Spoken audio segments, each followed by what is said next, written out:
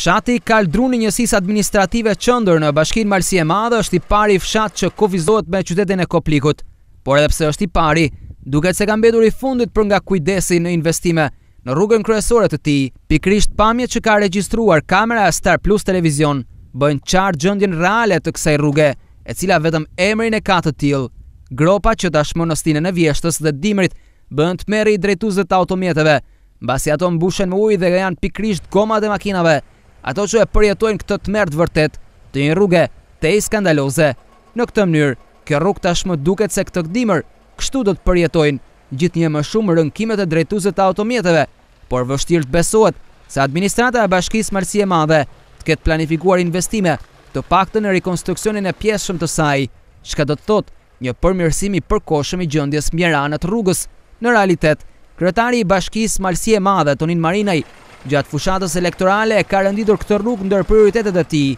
kur të vinte në krye të Bashkisë, por duket se tani, ky premtim jo vetëm që është harruar, por zyra urbanistike e Bashkisë, mbase nuk e ka përfshirë në prioritetet e përshpejtuara,